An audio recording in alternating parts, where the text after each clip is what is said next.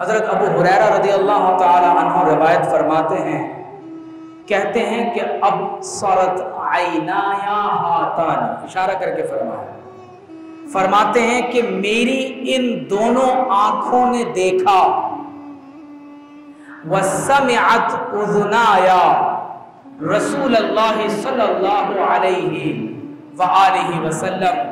اور میرے ان دونوں کانوں نے اللہ کے رسول صلی اللہ تعالی علیہ وآلہ وسلم کو فرماتے ہوئے سنا وَهُوَ آخِذٌ بِكَفَّيْ حُسَيْن وَقَدَمَاهُ علی قدم رسول اللہ صلی اللہ علیہ وآلہ وسلم۔ فرماتے ہیں کہ حضور علیہ السلام نے دونوں کندھوں سے حضرت امام حسین علیہ السلام کو پکڑا اور حضرت حسین رضی اللہ تعالی عنہ کے دونوں قدمین شریفین، حضور علیہ السلام کے قدمین شریفین کی پشت پر رکھے ہوئے تھے۔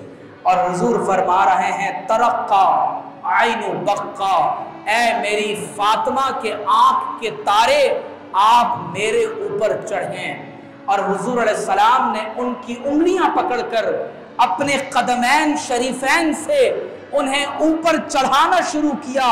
فرماتے ہیں کہ فرق الغلام حتی ودعا قدمیہی علی صدری رسول اللہ صلی اللہ علیہ وآلہ وسلم۔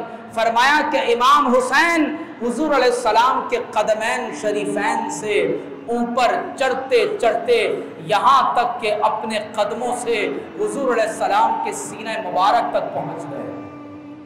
اور حضور علیہ السلام نے پھر ان کو فرمایا کہ اپنا منہ کھولے انہوں نے اپنا منہ کھولا اور حضور علیہ السلام نے ان کے منہ کا بوسہ لیا اور فرمایا، اللہم احبہ اے رب کریم تو حسین کو اپنا محبوب بنا لے، فَإِنِّي أُحِبُّهُ۔